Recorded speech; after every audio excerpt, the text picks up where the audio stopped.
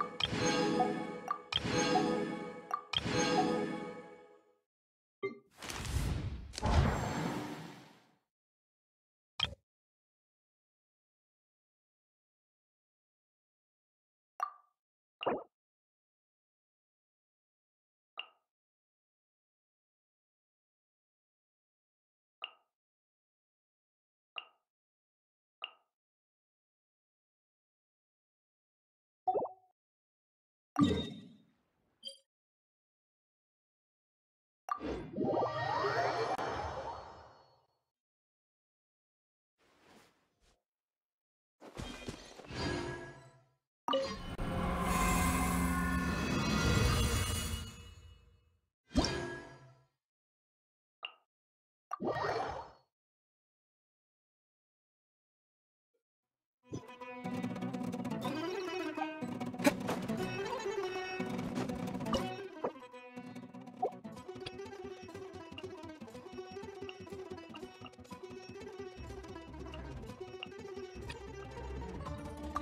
What?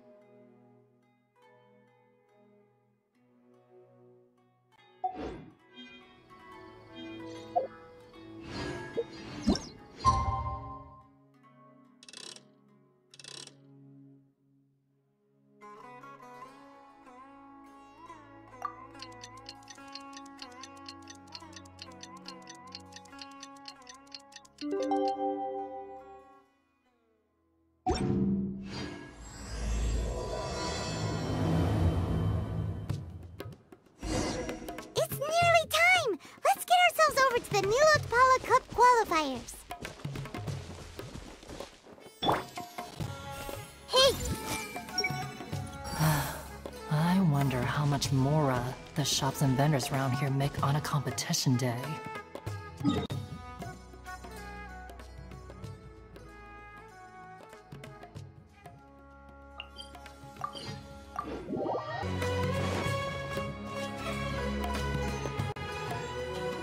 Looks like the qualifiers are about to kick off.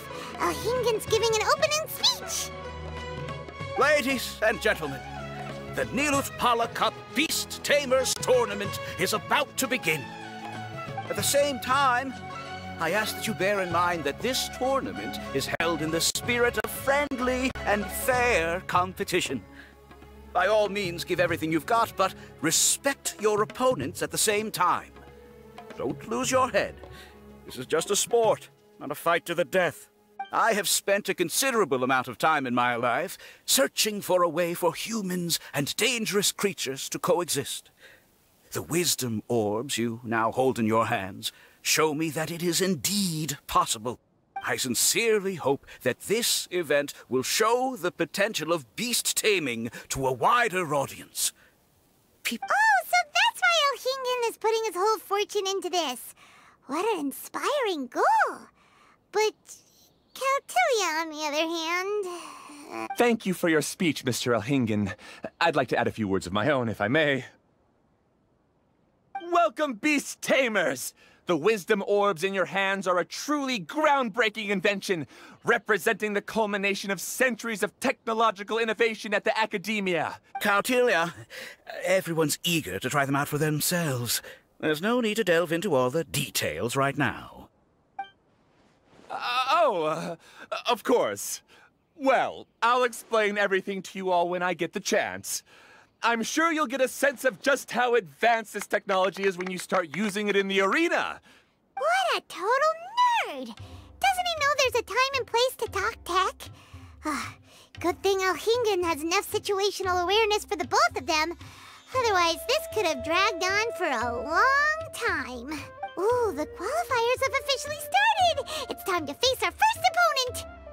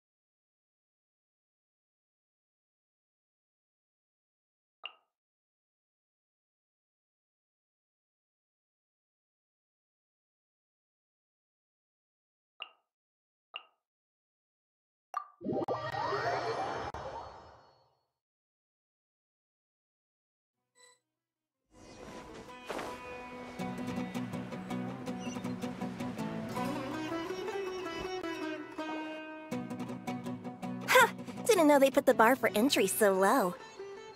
Let's go! This is gonna be over so fast. Don't blink or you'll miss it. Don't be nervous, Bongo Head. It's only the qualifiers. These are teeny tiny potatoes. Just think of them as stepping stones.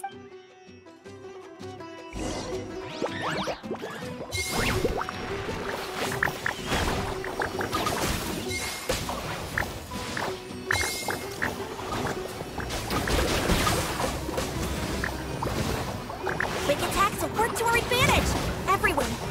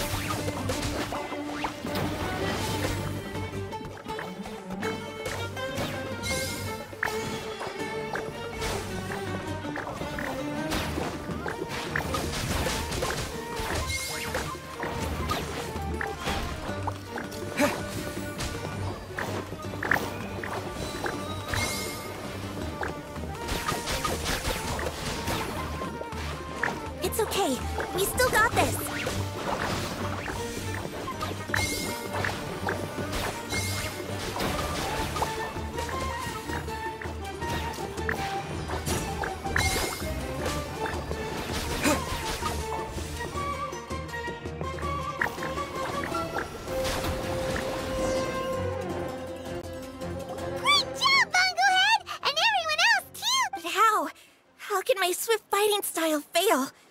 Everyone, retreat now!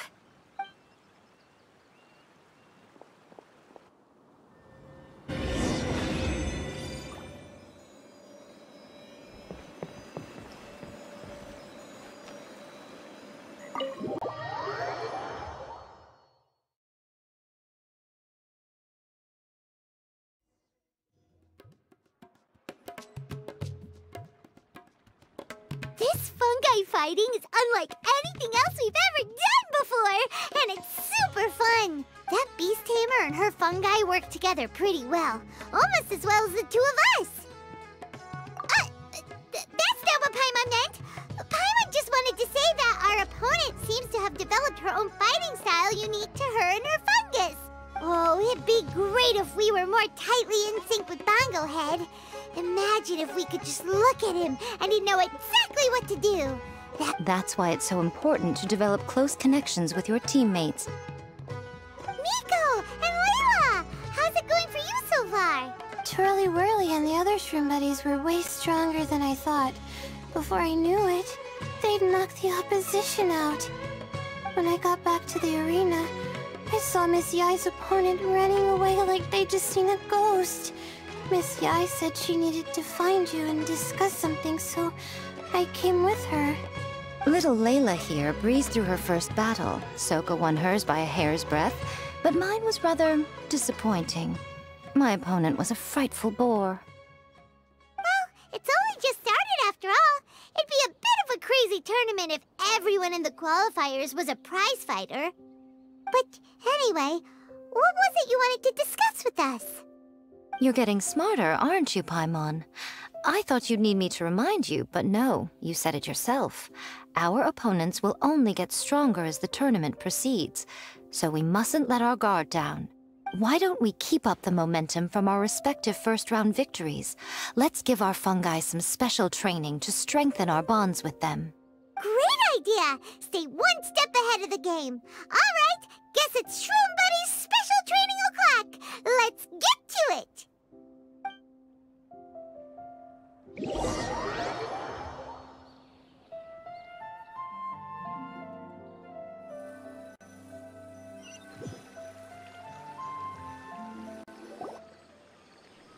The view here is wonderful. It smells of the rainforest here, and we're far enough away that no one will bother us.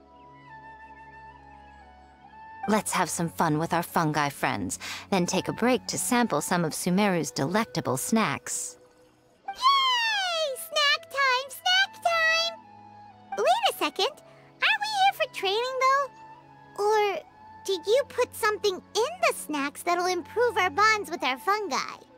Even if I had that kind of power, I wouldn't dream of abusing it. I assure you, the dried fruits and pastries I brought are quite ordinary. Perhaps you thought I'd planned an intensive training session for you? that won't be necessary. On the contrary, when you're constantly on edge, you miss quite a lot of important things. Since the goal here is to bond with our fungi, we should treat them as friends and create happy memories with them.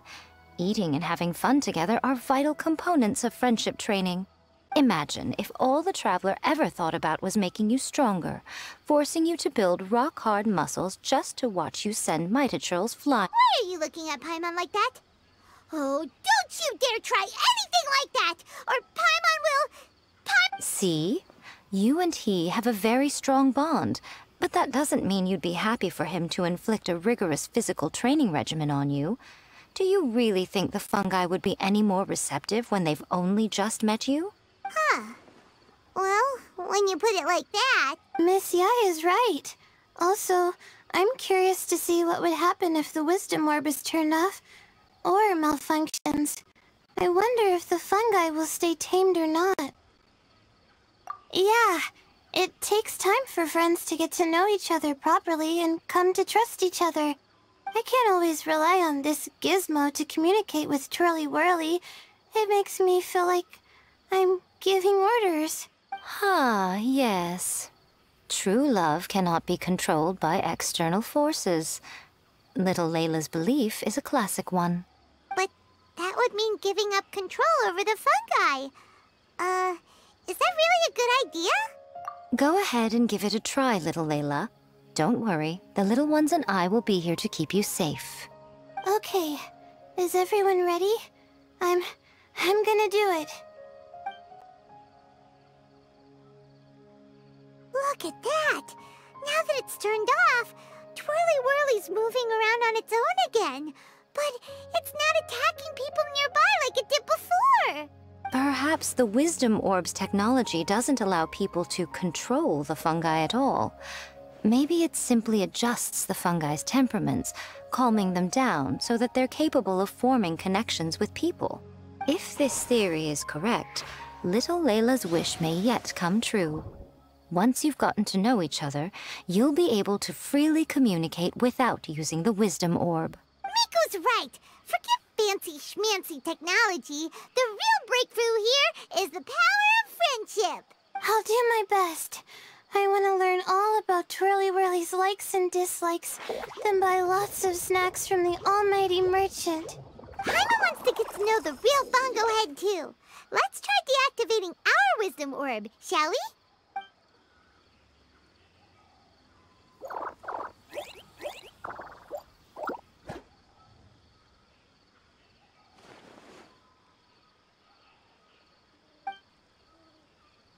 Traveler, Paimon, Miss Yae, do you and your shrimp buddies want to join us? I think Twirly wants to play in the water over there. You'd better be careful.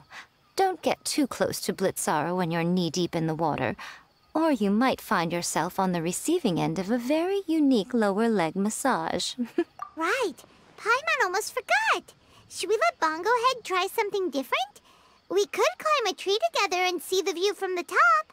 You two go ahead. We want Bongo Head to try something different since it's probably used to playing near water. Oh, okay. Meet you back here later then. Hope you have a good time.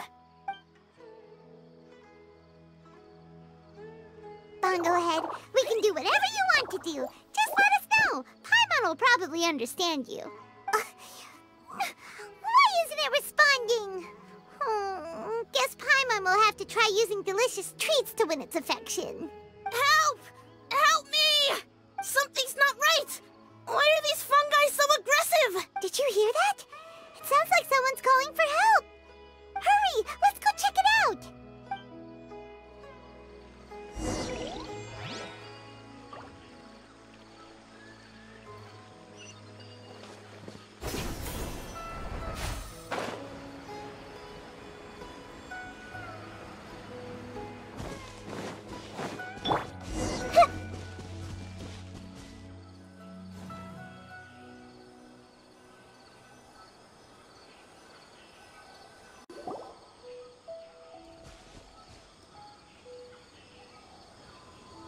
What are you doing here? Hania? You saved the children? I happened to be nearby. The children were mimicking what they'd seen the contestants doing and ended up getting surrounded by wild fungi. Fortunately, I heard the commotion and got here in time to save them. That's so dangerous! Why are they trying to approach wild fungi without a wisdom orb? It's hardly their fault. I was almost drawn in by the fungi's cute appearance once, too. Luckily, I remembered my family's stern warnings and the suffering that previous generations once endured, so I kept my distance. People never used to be under any illusion about how dangerous the fungi can be. But this Nilotpala Cup is changing people's perceptions, and now they're letting their guard down against the fungi. A consequence that Elhingen failed to foresee. I'm putting an end to this debacle, first chance I get. The Wisdom Orb is the perfect tool for exterminating fungi on a large scale. And once I win the tournament, they'll be mine to do with as I please. What are you talking about, Hania? Exterminating fungi? Not in front of Pyro 1! Don't you care about its feelings? You're taking part in the tournament too, aren't you? You even taught us a few tips and tricks. You're clearly enjoying the event. I'm quite certain Pyro 1 would back me up if it was capable of realizing the past mistakes of its kind. But regrettably, it's just a pawn controlled by a gadget. It will never understand human sentiments. As for why I taught you guys a few things, don't you realize? I saw your potential, and I wanted you to help me reach my goals. Yet here you are now pleading the fungi's case. You've gotten too deep in this absurd game. Looks like Golden Comet and Silver Companion don't deserve such a stellar reputation after all. Wait! Don't go! We turned off our wisdom orb just now, and we were playing with the fungi and everything! Ooh my, such a standout personality, and with the perfect dose of obstinacy. I sense dramatic events just waiting to unfold. Miko? Layla? Oh, you heard the cries for help too, huh? We were just talking about her as it happens. Little Layla told me that Hania gave you some guidance when you first entered the tournament, but after you met Layla, she very abruptly left. Looking at it now, she seems to be a classic case of a wrong path character. Blames the many for the mistakes of a few and seeks to wipe them all out of existence.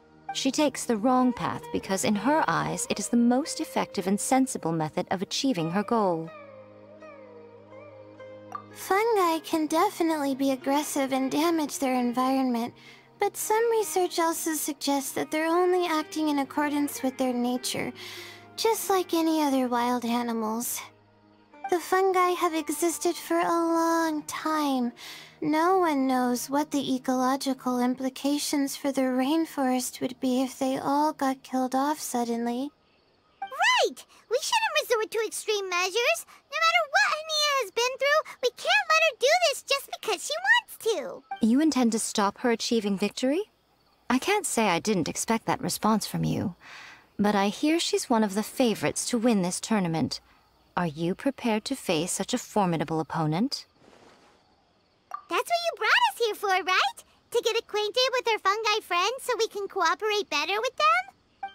Wait, did you know all this was gonna happen? it would be rather boring if I had arranged every last detail in advance. The chance encounter between you and Hania came as quite a pleasant surprise. Today's training ends here. The qualifiers should be over now. We should go and find out what to expect in the later stages.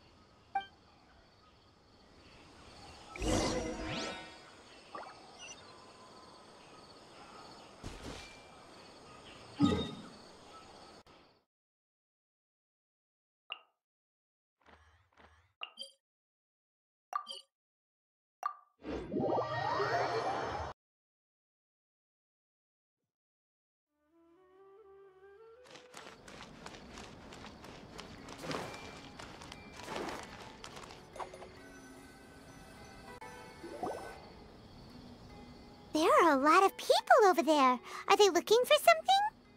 I heard that the organizers set up loads of message boards for the audience to leave comments and interact with each other.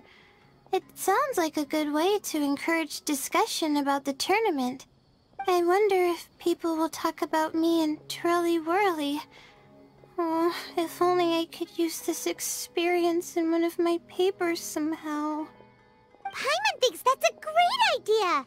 You always need a ton of information to write a paper, and you can't always get the info you need. But this time, you're the one providing yourself with the information. You can write whatever you want.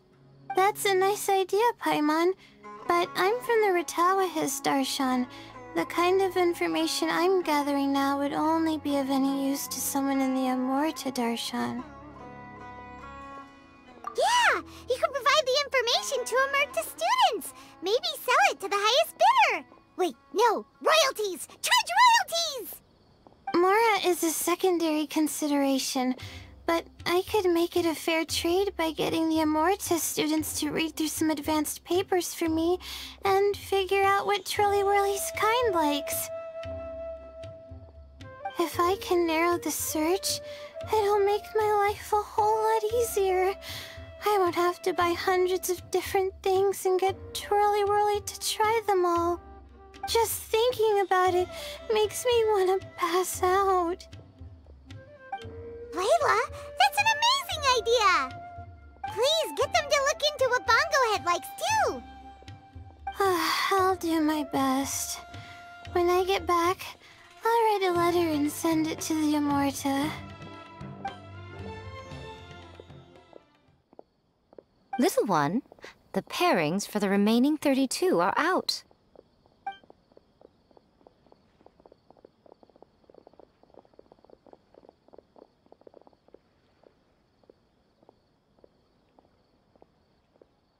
Huh? We'll be facing Soka next! Oh, I've been looking forward to this a lot. What are you so excited about? Aren't you worried that we'll knock your budding author out of the competition? If happens, Yae Publishing House's nice little journey in Sumeru will come to a very abrupt end. Oh, please, do your worst. I never asked Soka to win in the first place. Besides, maybe suffering a humiliating defeat will give her the epiphany she so desperately needs. After all, a life with no obstacles tends to narrow the mind. People end up believing that only they are on the right path. Sometimes, obstacles are more valuable than smooth sailing. Excellent. Ah, I'm looking forward to the next round. I'll await your good news.